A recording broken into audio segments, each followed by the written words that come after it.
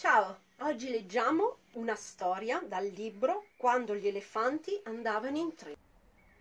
Gli elefanti.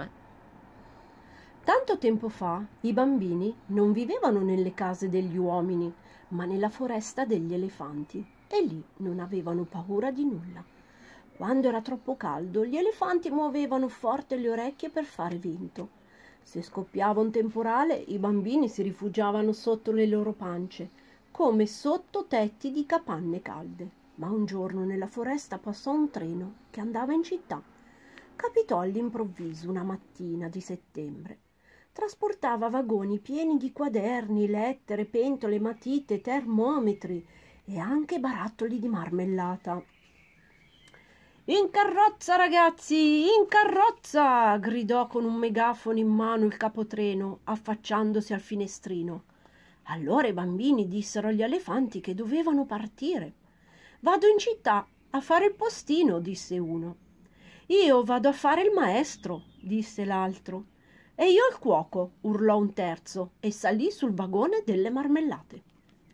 Ma un bambino più piccolo degli altri esclamò Io farò il veterinario e vi porto tutti con me. E cercò in ogni modo di far salire gli elefanti sul treno, con le corde, con le scale, persino con una gru che trovò sull'ultimo vagone.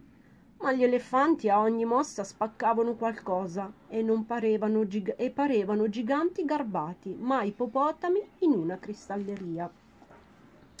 Così i bambini capirono che dovevano partire da soli e abbracciarono forte le zampe dei loro amici. E gli elefanti presero a barrire, a sventolare le orecchie e a seguire il treno con lo sguardo e con il naso. E più il treno si allontanava, e più il naso si allungava per fare ciao. Da quel giorno gli elefanti hanno la proboscide e i bambini vivono nella città degli uomini. Ma qualche volta i bambini tornano a trovare i loro amici. Lo fanno in sogno, quando nessuno li vede.